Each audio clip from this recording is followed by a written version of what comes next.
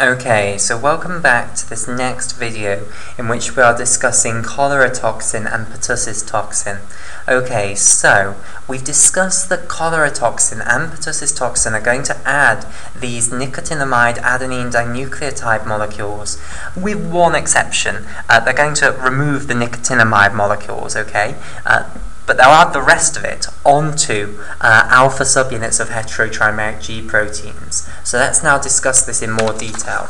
Okay, so I'll get temporarily a new piece of paper, but we'll, we'll come back to our structure, don't worry. I'm not drawing that out again. Right, okay, so basically let's begin with cholera toxin, CTX. What does it do?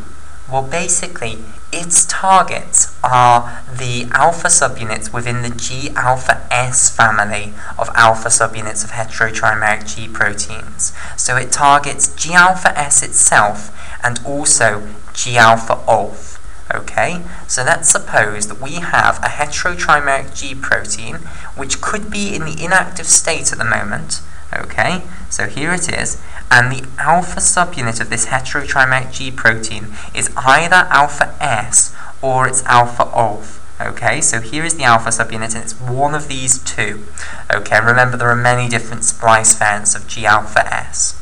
Okay, and let's say it's currently in the inactive state, so it currently has GDP bound, so it also has this beta gamma subunit here and like so, which will also have a lipid moiety anchoring it into uh, the inner leaflet of the phospholipid bilayer. Okay, so basically what cholera toxin is going to do is it's going to take one of these NAD molecules, okay, and it's going to rip off the nicotinamide and it, of the NAD molecule, and it will bind the rest of the NAD molecule. And let's think about what the rest of the NAD molecule is. So if you remove the nicotinamide, you have got adenine with ribose. Now, the combined name for adenine and, strictly speaking, I should call that beta-D ribofuranose, but everyone just calls that ribose, okay? The name for adenine plus ribose is to call it adenosine okay? And then we've got two phosphate groups on there, so we could call this adenosine diphosphate, or ADP. Okay, now what does the ADP then have attached onto the final phosphate group, this beta phosphate over here as it's called, um, it has a ribose, a beta-D ribofuranose, so we could call this an ADP ribosyl molecule. Okay? And we're going to stick it onto something, so it's going to be an ADP ribosyl group that we're going to stick onto something.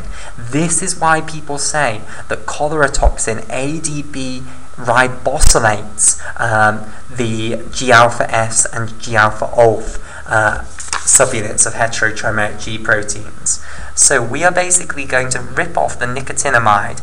We're going to bind the ADP ribosyl group onto the alpha subunit, okay? Um, so, which amino acid are we actually going to add it onto? We're going to add it onto an arginine amino acid in these G-alpha S and G-alpha OLF, uh, G-alpha subunits. Okay, so let me now show you the structure of arginine and then I'll show you how we're actually going to transfer the ADP ribosyl group onto the arginine. Okay, so I'll draw the arginine as though it's a residue within a protein because of course it actually is within the um, alpha subunit which is a protein. So here's the amino group, here's the alpha carbon with a hydrogen coming off it, and here's the carboxylic acid group. And basically the R group of arginine consists of firstly three methylene groups, and I'll put one methylene group, I'll bracket this and then put a subscript 3 to uh, imply that you should repeat this three times, okay? So because I don't want to have to draw out three methylene groups, I've used this convenient trick. Maybe it's a little in vain here, because I only have three of them, but it's a useful trick nevertheless. Then we have an amino group following that, and then a carbon off this nitrogen. Then we have off this carbon an amino group, and then finally a double bond to a nitrogen which then has a single hydrogen coming off. So this is the structure of the amino acid arginine. Okay, now basically what you are going to do is you're going to take one of these hydrogens off this nitrogen on the amino group. So if I just draw the amino group out in full, here is the amino group shown in a little bit more detail, okay? And basically what I'm going to do is I'm going to cut off one of those hydrogens off that nitrogen, okay? So I'll send one electron back to the nitrogen, I'll send one electron back to the hydrogen here, okay? Then what I'm going to do is I am going to cut this bond between the carbon and the nitrogen here, okay? So I'm going to cut that bond there and again, you can imagine sending one electron back to each of the members, okay? Now, I want to stress that I'm not showing you an electronic mechanism. I am showing you a um, logical progression to understand how the things on one side add up to the things on the other side. I'm not showing you the electronic mechanism by which this occurs, okay? So, and you can imagine sending one electron back to this carbon and one back to that nitrogen. Okay, that will mean that this nitrogen maintains its positive charge because it really now has lost the electron to the carbon. Okay, and the carbon remains neutral. Okay, then what we will do is if I bring my arginine, which unfortunately isn't in a convenient position, okay, if I bind this nitrogen, which has a free electron, to this carbon here, which also has a free electron, that's how I'm going to add this ADP ribosyl group onto the arginine.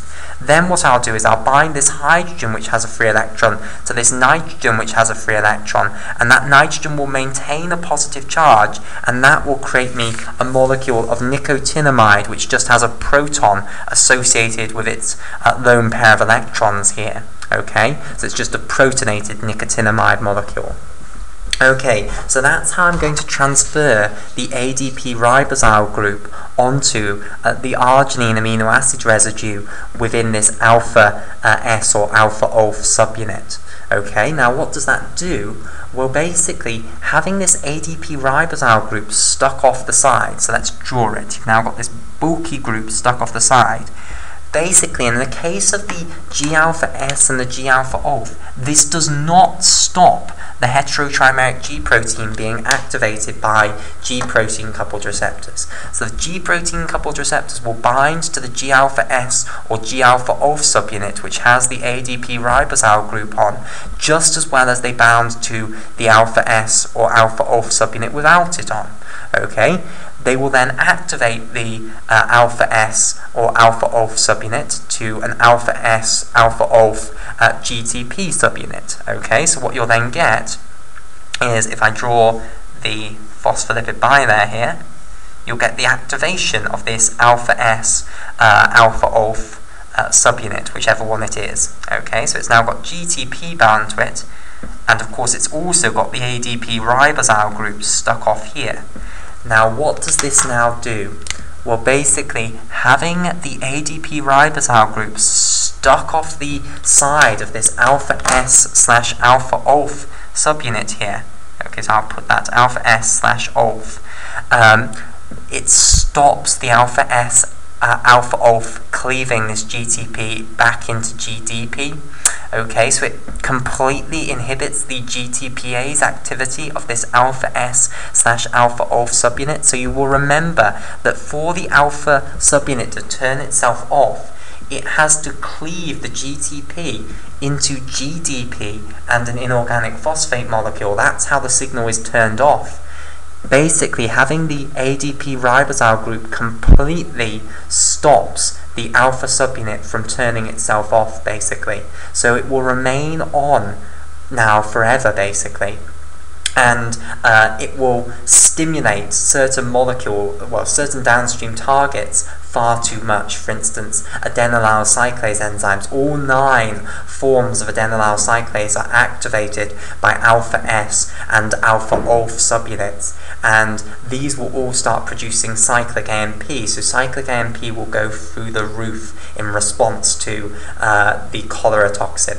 And I should say, what does the cholera toxin actually do? It catalyzes this addition of the ADP ribosyl group onto the alpha S and alpha OLF subunits. So this doesn't usually happen. Uh, this only happens when you've got the cholera toxin present, which will catalyze this reaction, basically. Okay, so Uh, we'll call it there for this video, and in the next video we'll discuss the mechanism of action of pertussis toxin, which is very similar with one important difference.